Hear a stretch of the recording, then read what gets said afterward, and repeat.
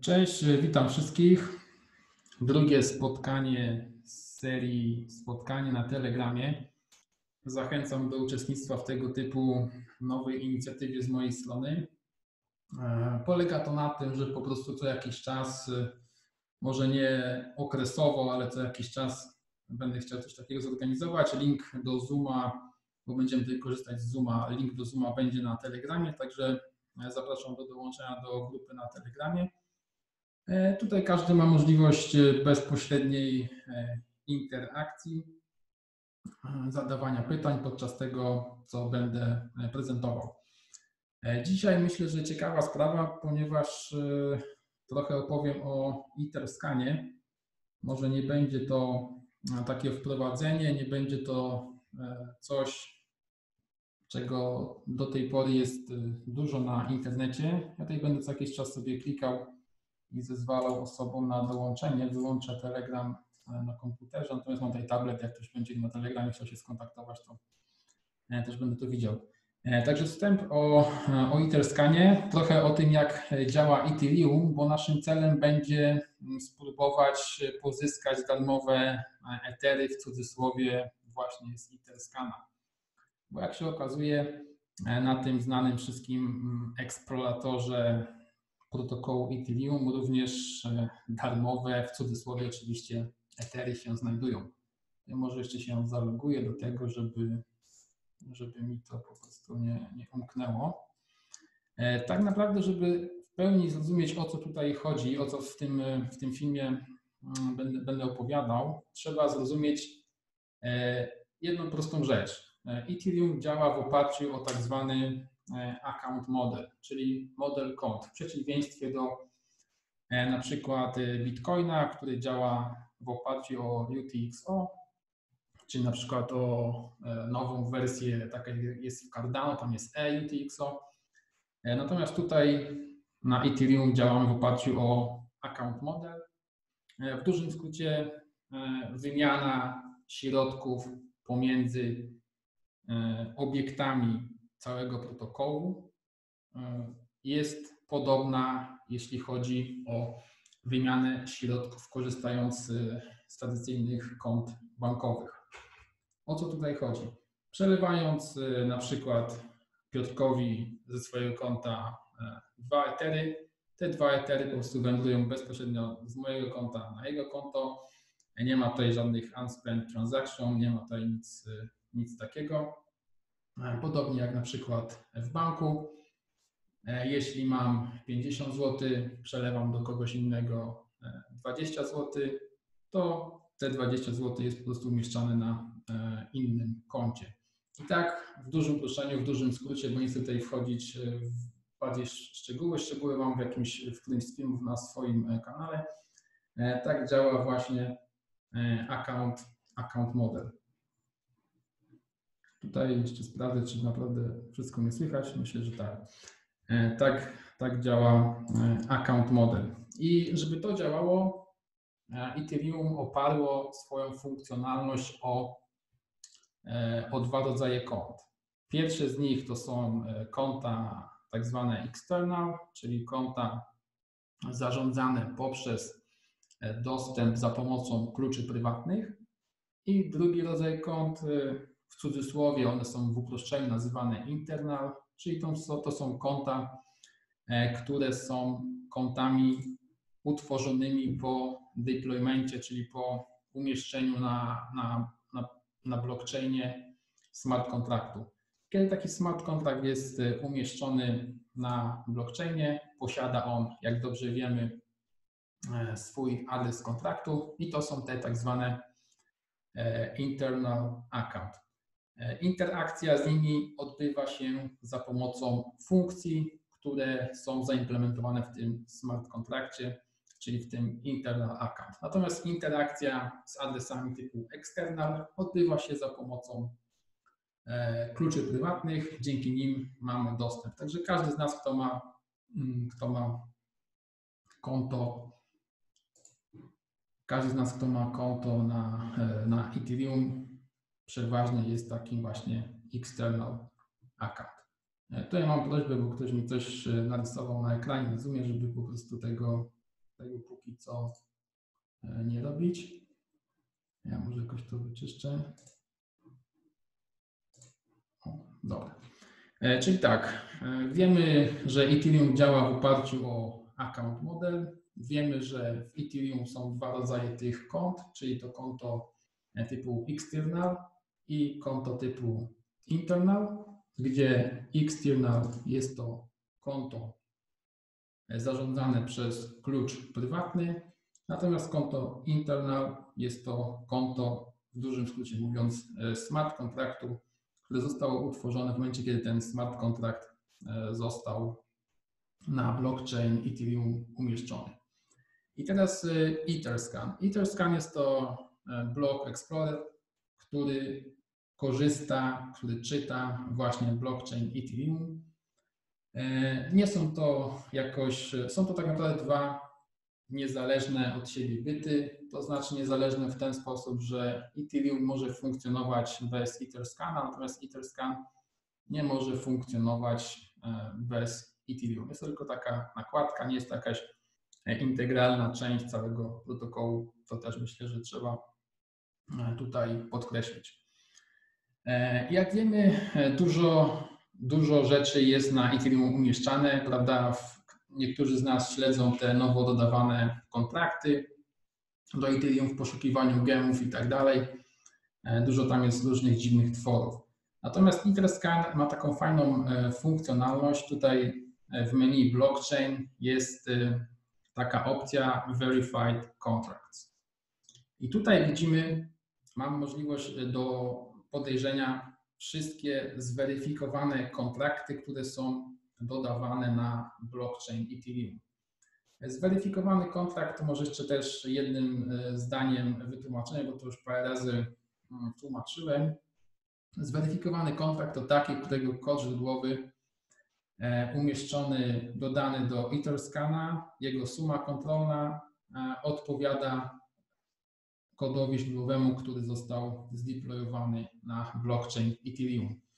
Bo tak naprawdę, żeby to wszystko działało, żeby te kontrakty mogły ze sobą rozmawiać, kontaktować się, to kod źródłowy jest umieszczany w formie bytecodu. Dlatego Etherscan potrzebuje otrzymać od dewelopera prawdziwy kod źródłowy, ten prawdziwy, ten czysty, nieprzetworzony, tworzy z niego bytecode i porównuje tego bytecodu, który jest na Ethereum. Jeśli te dwa bytecody są takie same, to wtedy mamy zweryfikowany smart contract i dzięki temu Etherscan daje nam możliwość podejrzenia tego kodu, kodu źródłowego, jaki on tam, co tam jest napisane. Także tutaj Etherscan ma taką możliwość również wyświetlania tego, co, jakiego typu kontrakty zostały do blockchainu Ethereum dodane. I tutaj ta tabelka przedstawia właśnie tego typu kontrakty, które zostały dodane. Mamy oczywiście nazwę tego kontraktu, mamy jego adres, co najważniejsze, mamy wersję Solidity, mamy balans, czyli ile eterów na danym smart kontrakcie się znajduje i mamy jeszcze kilka innych, trochę mniej istotnych funkcji. I co ciekawe, okazuje się, że wśród wszystkich sympatyków kryptowalut są osoby, które nagminnie śledzą to, co jest dodawane do Ethereum. No, w różnych celach. Niektórzy szukają gemów, niektórzy, a na pewno już wszyscy szukają zarobku. Jedni szukają go trochę łatwiejszego, drudzy chcą się trochę namęczyć.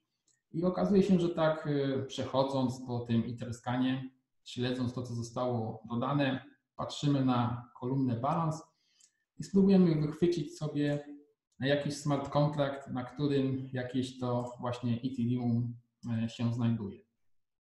Na razie tutaj nic, nic nie widać. Tu widzimy, że na jednym ze smart kontraktów mamy 15 Etherów.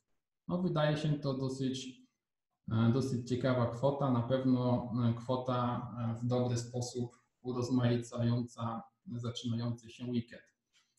Także spróbujmy może zobaczyć, co w tym smart kontrakcie, na którym znajduje się tych 15 etirów, się znajduje.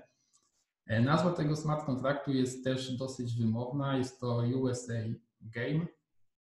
to i ta kolumna zawiera również informacje o tym, czy konstruktor tego smart kontraktu przyjmie jakieś argumenty, czy jest zoptymalizowany i tak dalej. No to powiedzmy są bardziej techniczne rzeczy.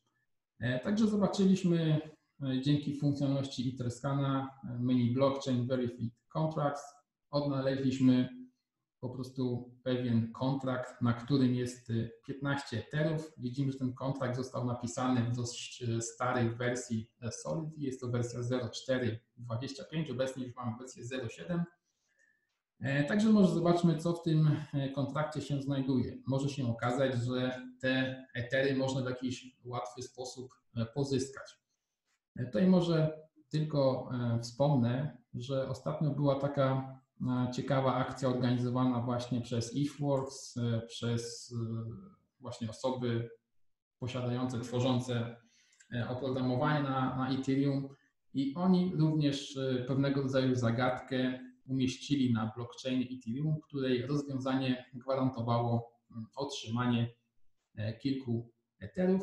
Także osobie, której się to udało, oczywiście jak najbardziej gratulujemy ale może jest też więcej tego e, typu możliwości na samym Etherscanie. No, z tego, co do tej pory się dowiedzieliśmy, wygląda na to, że tak. E, znaleźliśmy smart contract. Mm, jest to możliwe dzięki Etherscanowi. Widzimy, że ten smart contract jest zweryfikowany, czyli e, od razu nam się ta czerwona lampka nie zapala. Widzimy, że na tym smart kontrakcie jest 15 ETH-ów. Na chwilę obecną jest to 11 tysięcy dolarów, także myślę, że całkiem, e, tak jak powiedziałem, całkiem, całkiem fajna kwota, żeby po prostu e, jakoś ten weekend e, tego nowego roku rozpocząć. Może zanim przejdę dalej, jeśli ktoś tutaj na tym etapie ma jakieś pytania, to, to proszę, teraz jest dobry moment, żeby je zadać. Jeśli żadnych pytań nie będzie, to po prostu przejdziemy dalej i spróbujemy może te 15 i tirów z tego kontraktu wyciągnąć albo zobaczyć, o co tutaj chodzi.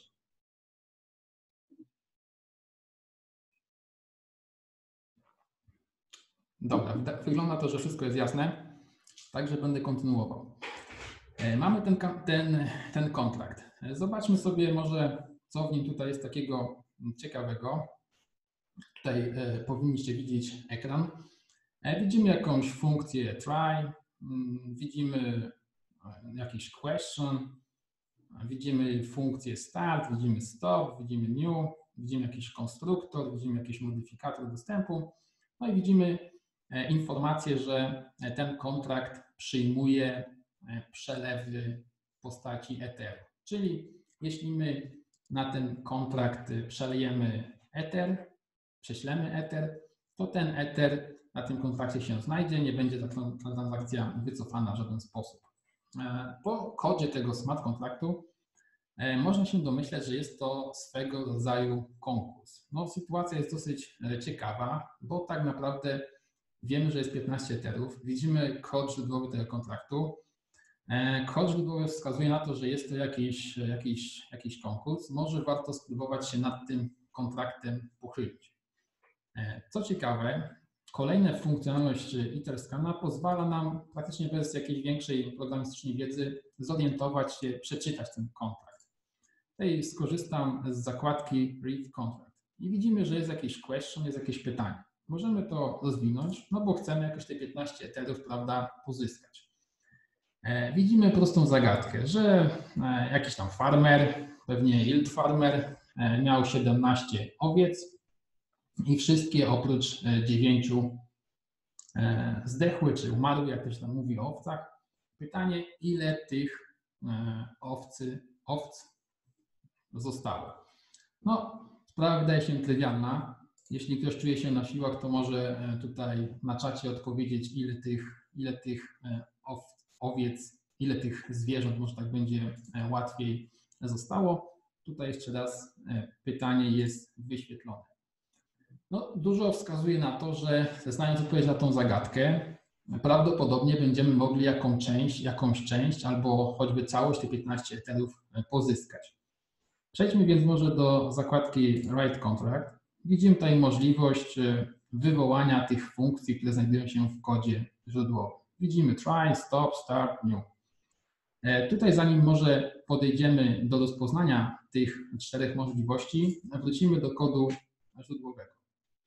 Widzimy, że funkcja try przyjmuje jako argument wejściowy jakiś ciąg znaków typu string, czyli jakiś tekst. Jest ona typu external, czyli możliwe jest wywołanie spoza kontraktu wraz z przekazaniem na nią jakichś środków. O tym informują e, te modyfikatory e, external i payable. Także wszystko wskazuje na to, że powinniśmy móc tą funkcję try wywołać sobie z poziomu chociażby iterscana za pomocą naszego metamaska. Ale żeby ją wywołać, musimy wiedzieć e, w jaki sposób w jaki sposób, co do niej wpisać tak naprawdę, żeby ewentualnie postarać się i otrzymać te 15 e, eterów. E, jeśli to przejrzymy ten kod źródłowy, zobaczymy, że tu jest jakieś porównanie. Tu jest to oczywiście e, pytanie i to pytanie oczywiście pokazałem w zakładce read contract. To jest to pytanie, jest ono publicznie dostępne, czyli zgodnie z tym, co widzimy w question. Widzimy jakąś funkcję start, E, new konstruktor. Przejdźmy może do przeanalizowania tej funkcji try, bo jej nazwa wskazuje na to, żeby po prostu spróbować, tak? żeby coś podać i, i, i zobaczyć, co się dzieje. E, okazuje się, że w tej funkcji e, istotnym jest sprawdzenie, czy ten hash, czyli skrót, który już znajduje się na blockchainie, jest taki sam jak hash, czyli jak skrót tego, co podamy w tej funkcji. To jest pierwszy warunek, a drugi warunek jest taki, czy wartość przekazana podczas udzielania tej odpowiedzi, wartość eteru przekazywana podczas tej odpowiedzi jest większa od jednego eteru. E, przejdźmy może teraz do zakładki Write Contract, otwórzmy to try i widzimy, że tutaj mamy możliwość przede wszystkim e, podania kwoty, podania tak naprawdę liczby eterów, jakie chcemy przekazać, czyli żeby wziąć udział w tym konkursie, musimy przekazać powiedzmy jakieś E, dwa etery, możemy przekazać jakiś jeden i jeden etera. Zgodnie z warunkiem musi być to więcej niż jeden iter. No i oczywiście respons, czyli musimy znać odpowiedź na to pytanie i co się będzie działo dalej. Wróćmy do, do kontraktu. E, dalej się będzie da, działa bardzo prosta rzecz, zapisana tutaj w linijce 13. E, jeśli ta odpowiedź będzie zgodna z odpowiedzią znajdującą się na blockchainie, to ten kontrakt e, wyśle nam, czyli my jako wyśle nam, czyli na, na nasz adres, którego będziemy przesyłać i udzielać odpowiedzi na ten kontrakt, prześle nam cały balans, czyli całe, wszystkie środki znajdujące się na tym kontrakcie. No, sytuacja jest, e, myślę, że coraz ciekawsza. Sprawa jest dosyć prosta. Uruchamiam ten smart contract, korzystam z funkcji try, podaję w niej odpowiedź na proste pytanie, przesyłam do niej przynajmniej jeden ether, w zamian otrzymuję prawdopodobnie te 15 etherów. E, wszystko wskazuje na to, e, że tak to zadziała. No nic tutaj więcej w tej funkcji nie ma. Nie ma tu jakichś dziwnych machinacji znanych chociażby z jakichś tam scam projektów. Natomiast zobaczmy w jaki sposób to działa i czy w ogóle możliwe jest otrzymanie tych 15 e, eterów. Żeby, to, żeby o tym się przekonać, żeby to sprawdzić, warto byłoby poznać odpowiedź na tą, na tą zagadkę, tak? Jeszcze dołącza kolejna osoba. Warto byłoby poznać odpowiedź na tą zagadkę. Odpowiedzią jest, chociaż nikt się nie pokusił na udzielenie, jest po prostu wyraz 9. E, czyli 9. Natomiast to nine może być pisane w różnej formie, może być małymi, może być wielkimi literami, może być e, jedną małą, reszta wielkimi, może być jakiś e, znak, na przykład trójka zamiast e. Może to przybierać wiele form. Każda ta forma wymaga sprawdzenia, czyli przesłania tego jednego etera. Natomiast my chcemy trochę tutaj oszukać ten system i zorientować się, czy osoby, które ten kontrakt umieściły, nie, nie popełniły przypadkiem jakiegoś błędu, bo chcemy po prostu minimalizować nasze koszty. Dlatego może zobaczmy e, na funkcję start, która z nazwy wskazywałaby na to, że została ona uruchomiona na samym początku podczas e, deploymentu, czyli umieszczania tego kontraktu na protokole Ethereum. E, widzimy, że ona ma modyfikator dostępu isadmin, czyli może z niej korzystać każdy, kto podczas tworzenia smart kontraktu został zdefiniowany jako mm, adres, jako administrator, czyli jego adres został zdefiniowany jako adres administracyjny.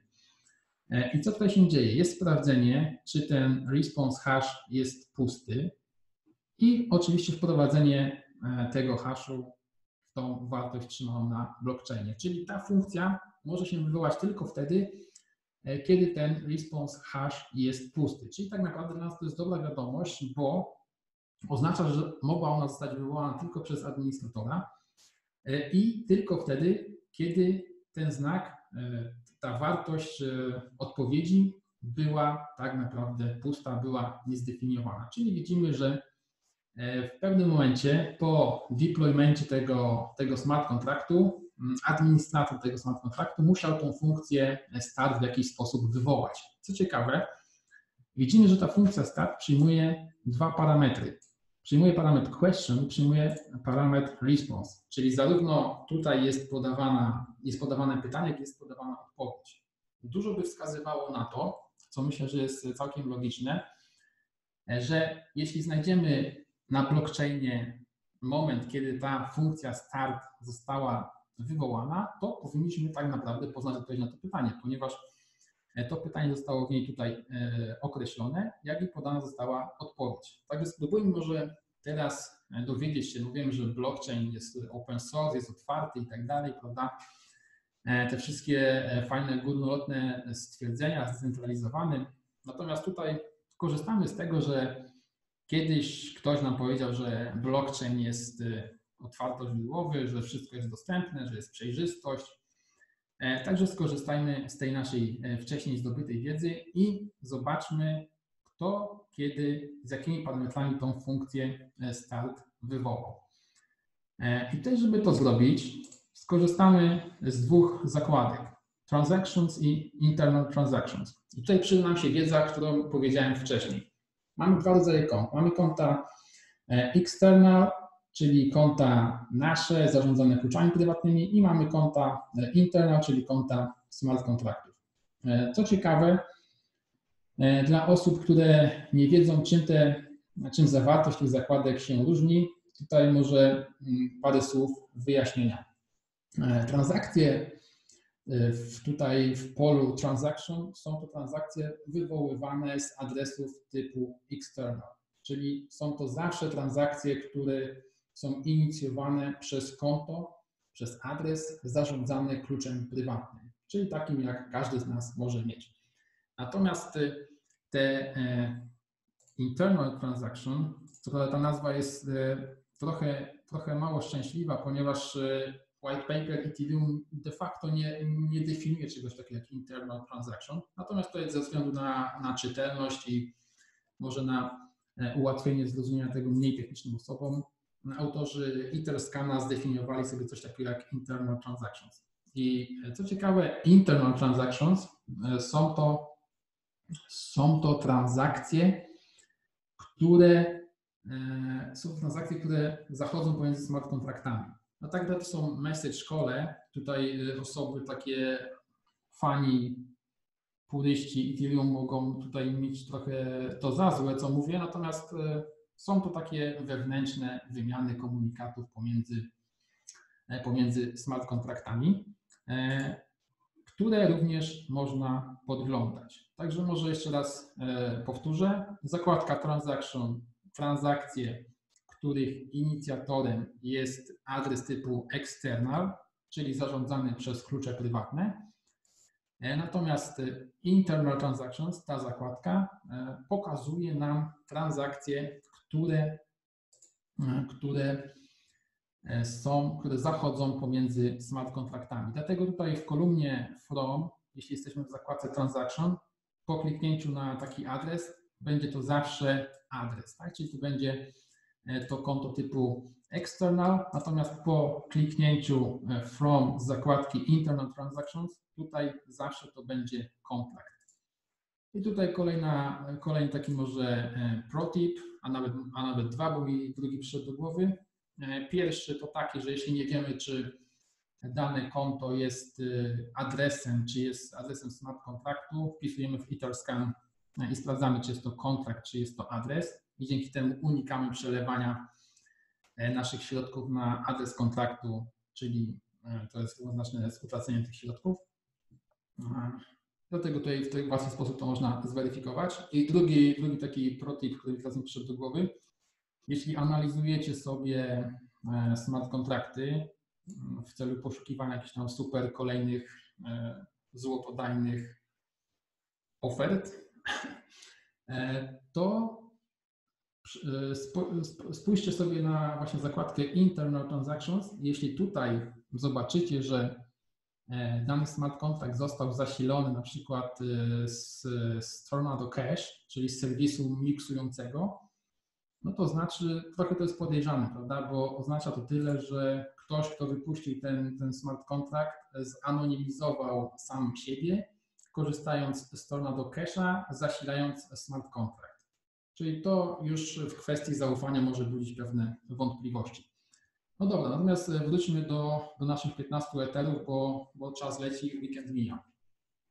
Jeśli chodzi o, te, e, o, te, o ten smart contract, doszliśmy do tego, że powinna być wywołana funkcja start e, z parametrami, z parametrami dwoma, czyli z pytaniem i z odpowiedzią. Prześledźmy sobie transakcję. Pierwsza z tych transakcji to jest kreacja, utworzenie tego kontraktu czyli po prostu sam, sam deployment umieszczenia go na blockchainie. Tutaj mamy zaraz e, dwie minuty później mamy drugą transakcję, która już e, obejmowała w sobie przesłanie, przesłanie tych 15 zwrotów, które się na sobie znajdują. Jeśli spojrzymy na pierwszą transakcję, e, tutaj mamy możliwość podejrzenia tego, co tu się dzieje w środku i widzimy, że to jest nieczytelne dla podstawowego dla człowieka z podstawowymi umiejętnościami raczej.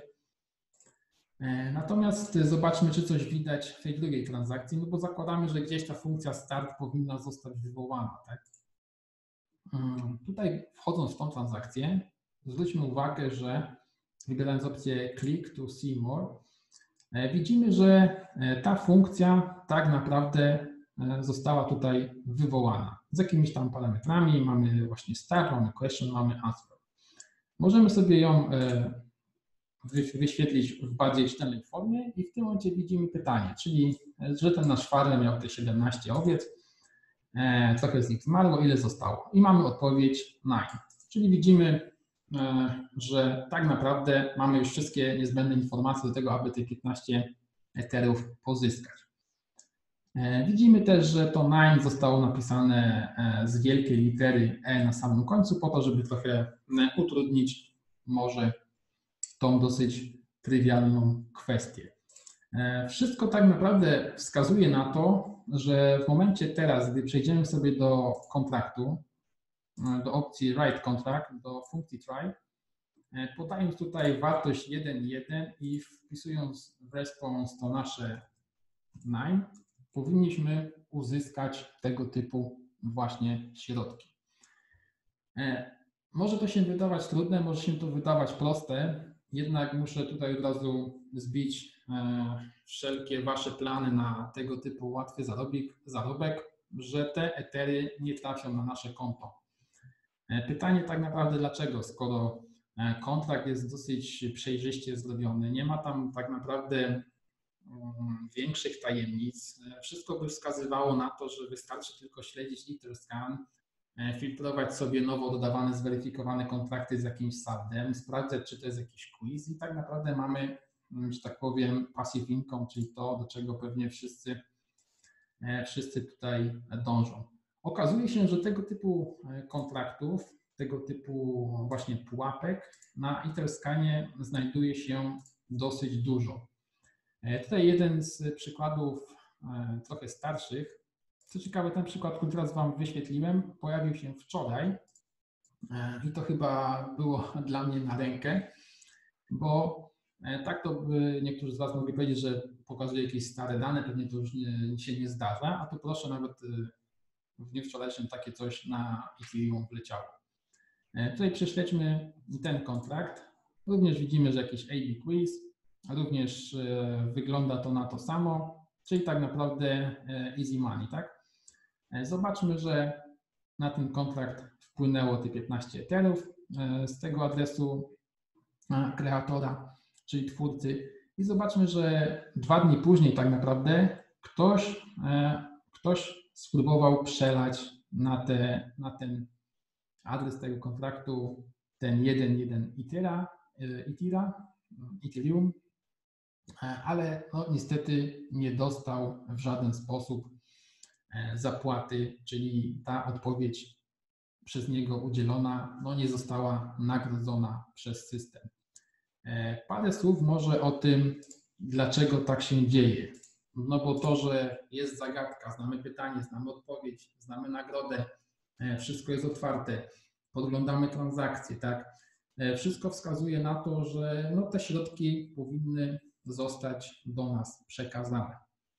E, I tutaj z odpowiedzią tak naprawdę przychodzi zakładka Internal Transactions, bo się okazuje, co ciekawe, że pomiędzy E, właśnie tymi uruchomieniami tych, kontrakt, tych, e, tych funkcji została jeszcze uruchomiona, doszło do interakcji z poziomu innego kontraktu z tym właśnie kontraktem. Także na, na pierwszy rzut oka tego nie widać w tej zakładce Transactions. Co ciekawe, żeby zobaczyć internal transactions, to trzeba włączyć ten advanced mode na Etherscanie, co też może być trochę problemowe. E, I tak naprawdę widzimy, że coś tutaj się jeszcze działo możemy sobie, możemy się wklikać tak naprawdę w tą transakcję, zobaczyć, co tu się, co tu się wydarzyło, również jakieś nieczytelne, nieczytelne mm, znaki. E, I tutaj widzimy, że również e, jakaś funkcja została, została e, uruchomiona. Widzimy, te, widzimy to, to pytanie. Co prawda nie widzimy już tym razem odpowiedzi. Żeby jeszcze bardziej się upewnić w tym, że tak naprawdę ta odpowiedź, pomimo że zostanie udzielona, nic, nic nam nie przyniesie, możemy nauczyć się na historycznych po prostu osobach, które wcześniej to próbowały.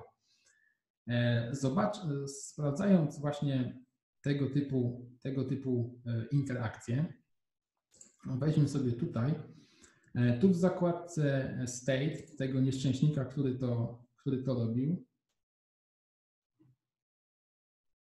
jak Interscan pozwoli nam to wyświetlić. Widzimy w dużym skrócie zmiany stanu tego smart kontraktu.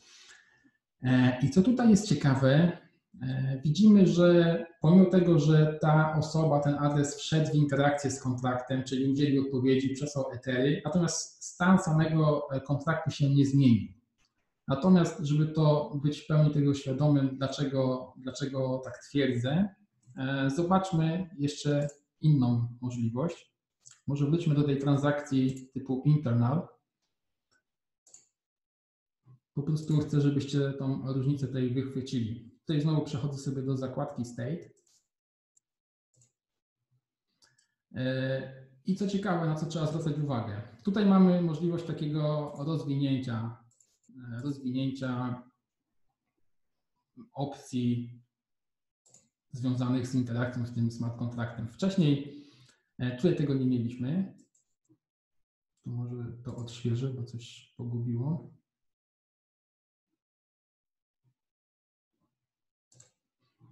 Tam nam się to, e, o, tutaj się otworzyło. W momencie, kiedy tutaj w tym opcjach Internal Transactions mamy taką możliwość rozwinięcia tego, mamy taki drop-down, e, widzimy, że stan E, tego kontraktu w jakiś sposób się zmieni. Natomiast ten, udzielając nam tej odpowiedzi, w żaden sposób nie zmienił stanu tego kontraktu. A jeśli nie zmienił stanu tego kontraktu, to tak naprawdę e, te środki po prostu nie zostały mu, nie zostały mu przesłane. Natomiast tutaj widzimy, że coś z tymi środkami, coś tak naprawdę tutaj się działo, coś tutaj e, zostało ustawione, na przykład zostało ustawiona, została ustawiona odpowiedź na to na to pytanie, które było nam, e, które było nam zadane. Ja tutaj zobaczę, bo jakieś pytania są na czacie chyba. Czat.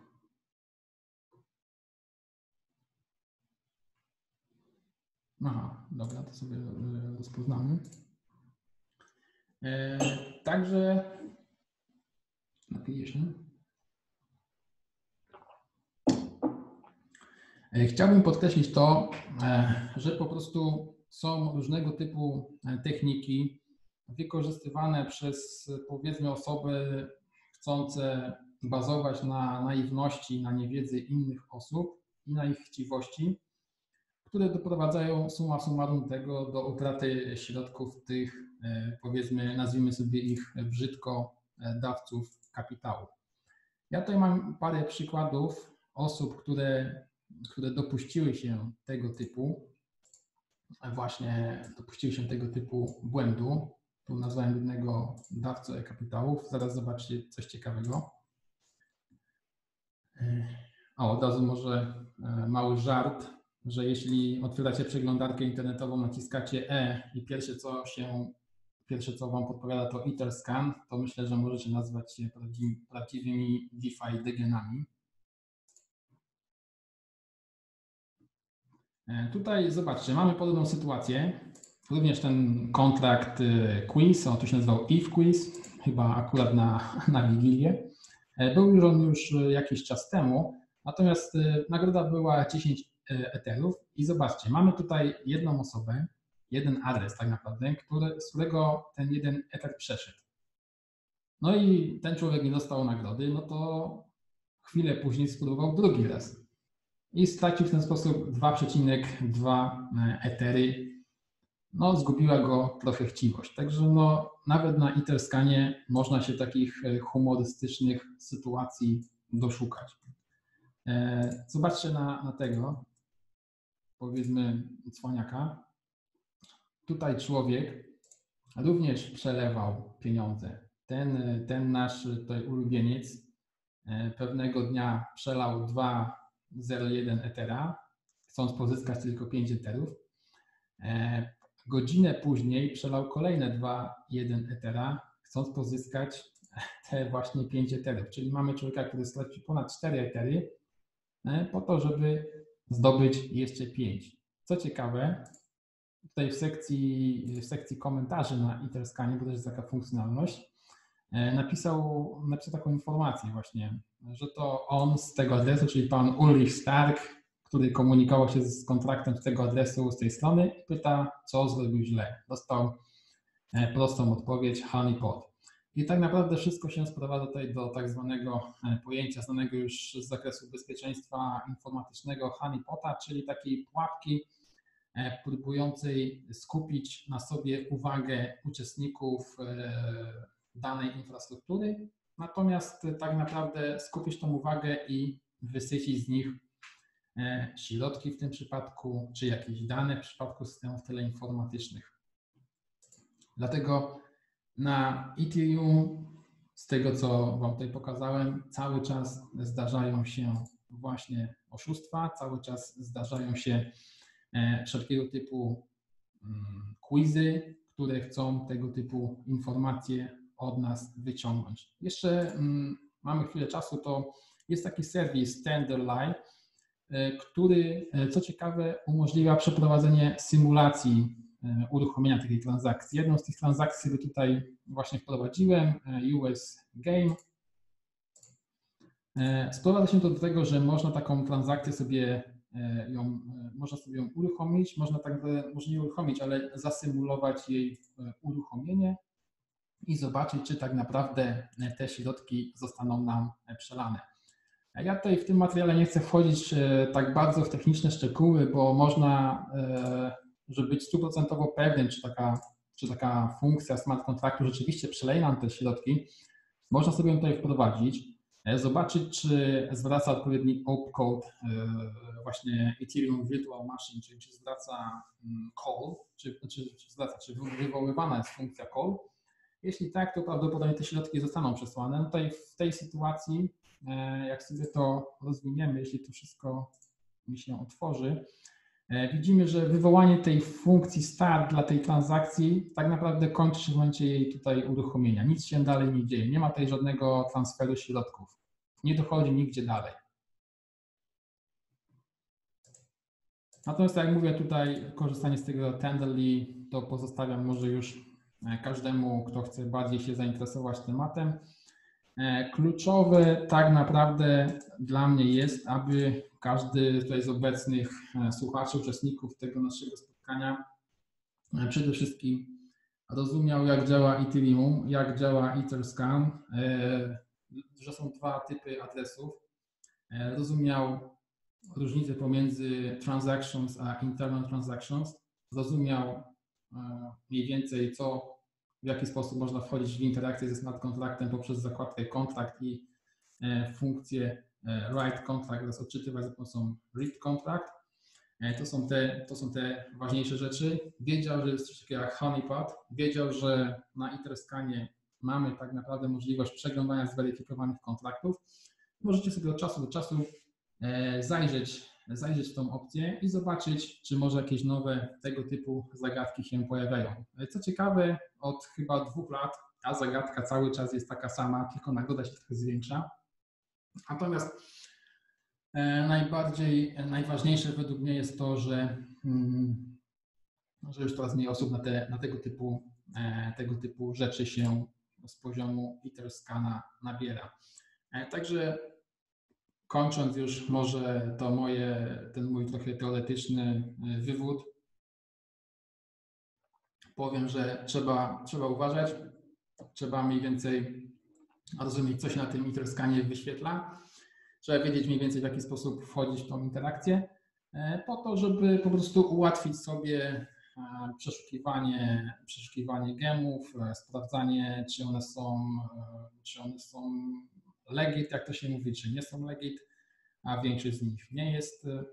I uważać również na te honeypoty, których jest, jak pokazałem, dosyć, dosyć dużo na Ethereum i one okresowo co jakiś czas się pojawiają. E, tak właśnie myślę, czy powiedziałem wszystko, co chciałem powiedzieć. E, dlatego może teraz e, mamy parę minut na, na jakieś pytania, czy na jakieś dodatkowe sugestie, które, które z Waszej strony będą.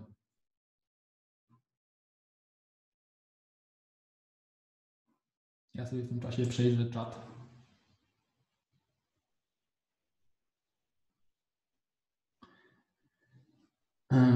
Tutaj od Przemka pytanie z tą owcą, to która część kontraktu pokazuje, że udzielanie, udzielenie poprawnej odpowiedzi nic nie da? Czy jest to niewidoczne? E, tak naprawdę, e, tak naprawdę w samym kontrakcie tego nie zobaczymy. Zobaczymy to w internal transactions, czyli zobaczymy, że była jakaś interakcja z tym kontraktem z poziomu innego kontraktu. To jest jedna kwestia. E, mają dostęp do danych historycznych, czyli do podobnych e, pułapek na Interscanie, możemy sobie zobaczyć to, co pokazywałem tutaj w zakładce State. Możemy sobie zobaczyć, e, że jeśli taka transakcja zmieniała stan smart kontraktu, no to prawdopodobnie te środki zostaną nam wypłacone, co jeszcze wymaga oczywiście głębszej analizy samego kodu źródłowego. Natomiast jeśli widzimy tego typu zakładkę state, że stan e, kontraktu się nie zmienił, to prawdopodobnie, znaczy to, to, to na pewno w tym przypadku nic nam nie zostanie e, zwrócone. E, I oczywiście musimy mniej więcej patrzeć na, na to, w jaki sposób ten smart contract działa, a tutaj ten smart contract, ten honeypot jest, jest wyjątkowo prosty i myślę, że tutaj jakaś skomplikowana tajemna wiedza programistyczna nie jest, nie jest potrzebna jest on o, o wiele, znaczy o wiele, jest on łatwiejszy niż, niż e, ta zagadka, z której pieniądze oczywiście wygrany otrzymał, organizowana przez e, Zero X Poland. No tutaj ten nasz zwycięzca pieniędzy nie otrzymał i nigdy nie otrzyma.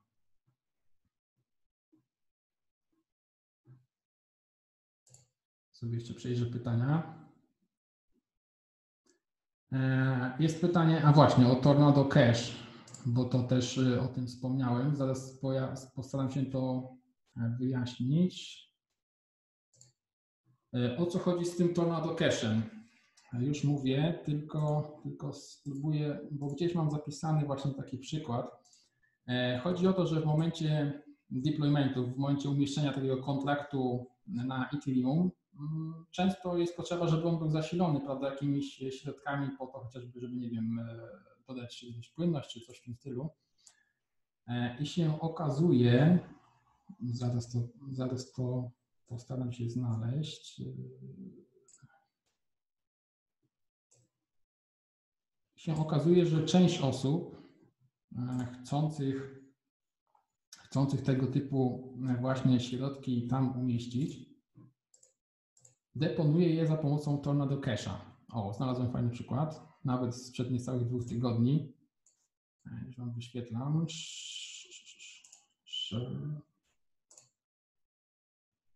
Hmm, adres.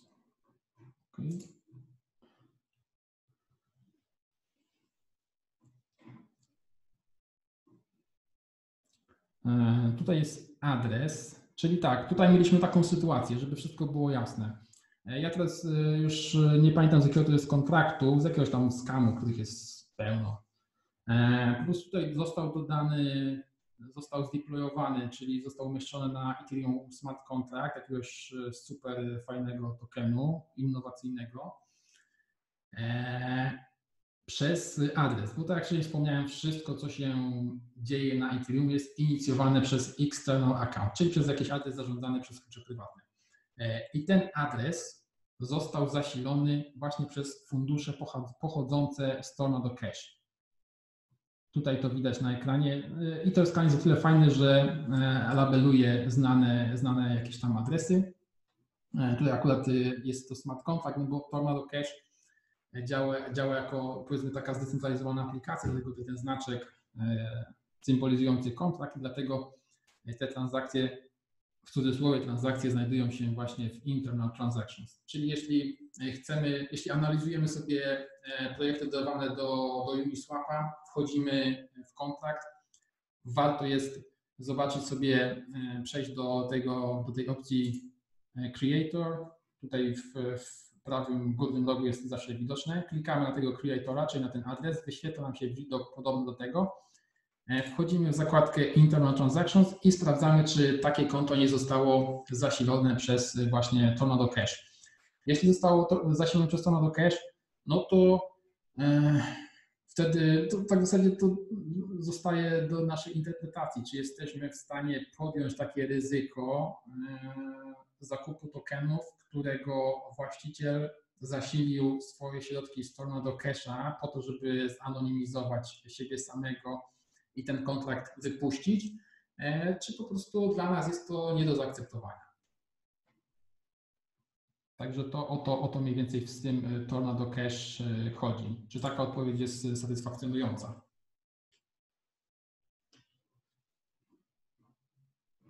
Dobrze, no to jeszcze może coś, coś ciekawego do, do zapytania z Waszej strony, coś do wyjaśnienia. Mamy tutaj Piotrka, to Piotrek może powie, czy, czy coś dowiedziałeś się ciekawego z tego dzisiejszego tej meetingu. Nie byłem świadomy tego typu zagadek, e, ale też pokazuje taką prawdę uniwersalną, że łatwe pieniądze nie leżą na ulicy, więc leżały tutaj w Mississippi. Dlatego to jest właśnie jakaś klasyka zaręta na, e, na innych wspaniałych, więc to jest chyba uniwersalna lekcja kontekście pieniędzy. Tak, tak. No właśnie, dokładnie. O to chodzi, że po prostu E, nawet w ramach nauki, śledząc sobie tego Interscana, sprawdzając te, te kontrakty zweryfikowane, może akurat na przykład czekamy na jakiś release tokenu, tak, na jakiś presale czy coś w tym stylu, e, sprawdzamy, że coś się pojawiło czy nie, no i tak z nudów patrzymy, o jakiś quiz, jakiś game, tak, tutaj widzimy w kolumnie, o jest jakieś 10-15 eterów, no to ha, próbujemy, bo ten nowy się nie wyświetla, znaczy nie pokazuje się, jeszcze nie ma deployu, no to w tym czasie może wiesz, na szybko 15 eterów sobie zgarnę. Patrzę w kod źródłowy, no wydaje się prosty, tak? Jest, y, wchodzę w głębiej, o, znam odpowiedź, no to próbuję, wysłać jednego etera, o nie poszło, a wyślę może jeszcze jednego, nie? No i tak, no takie przykłady z tego, co widzieliście, e, miały miejsce i tak tego typu honeypoty na Ethereum e, cały czas są, są wrzucane. No, no dobra, słuchajcie, czy są jeszcze jakieś pytania? Jeśli nie, to myślę, że kończymy. E, uważajcie na, na Etherscanie, hodlujcie swoje etery. Co tu jeszcze ciekawego można powiedzieć? No i, i, i zapraszam na kolejne spotkania. Ja sobie teraz już wyłączę nagrywanie. A, jeszcze coś w czacie. To za materiał, mega konkret. Tak, dzięki. Jeszcze tylko przynajmniej do pytania. Czy dobrze rozumiem, że w przypadku konkursu Zero X Poland poszczególne części kontraktu musiały być umieszczane w momencie wypuszczania hintu, aby zapobiec poznaniu odpowiedzi? Nie, nie, nie. To tak nie było. E, Tam po prostu z z każdą fazą, czyli za każdym razem, kiedy ten hint został e, upubliczniany na ich Twitterze, e, była możliwość e, uzyskania odpowiedzi na, na, część, e, na część całej odpowiedzi. Tam był taki ciąg znaków jako pełna odpowiedź i każdy, każdy ten hint prowadził do jednej, jednej części tej, tej całej układanki. W momencie, kiedy miałeś całą tą układankę, dopiero wysłać do smart kontraktu, e, czekałeś tam te bloki i, i byłeś ewentualnie nagradzany, jeśli, jeśli byłeś pierwszy. Tak. Nie ma łatwych pieniędzy, Piotrek. Dokładnie tak, ktoś tutaj, tak Jan napisał na czacie. Dobra, to ja e, dziękuję Wam za uczestnictwo. Zapraszam do kolejnych, do kolejnych tego typu treści. Zapraszam tutaj na kanał Również Piotrka, który zaszczycił nas swoją obecnością. I w tym momencie kończę, kończę nagrywanie.